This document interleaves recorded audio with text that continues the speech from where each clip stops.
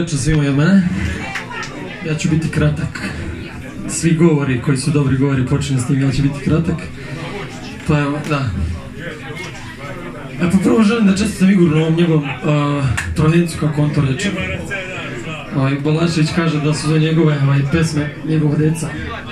On je dobio izgleda sina večeras. Jel, ne morate mu cepati košulju večeras, ne mogu Ne, Ovaj, eto ja sam bio zadužen ovaj, ovaj put za, za spot koji ste vidjeli sada, za produkciju i režiju, ovaj, bila mi je velika čast da sarađujem s ovim ljudima ovdje koji su večeras sa nama, prvenstveno sa Igorom ovaj, koji je ovaj, pomoću nekih naših zajedničkih prijatelja, ovaj, poznanika, ali uh, njega i mene veže jedna ista ideja, a to je da uspemo da ostvarimo svoj san.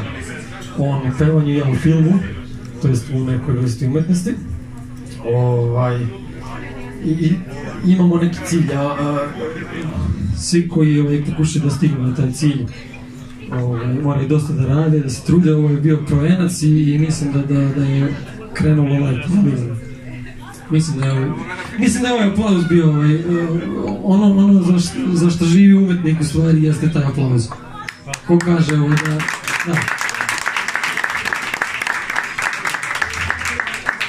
To, to je ovaj ocena onoga, nije ni like više, ni share, ni ništa, aplauzi, to, to je živa stvar to je to. Eto, ja sam bio kratak, ja mislim koliko sam mogao, želim da se zahvalim cijeloj ekipi, bili ste divni. Bilo je divno sarađivati sa vama, sa Igorom i moram da pohvalim Igora da sam otkrio jedne ovaj, sitnice kod njega da je on dobar glumac u stvari. E, pa, poliorant glumac, to je to. to, je zaista talenta za glumu i ovaj, još jednom Igora. Ovaj, I nadam se nekim novim projektima da sarađujemo i dalje zajedno. Mi smo već na tu temu i pričali, je tako? Ali zvaćem vas opet. Hvala vam tom.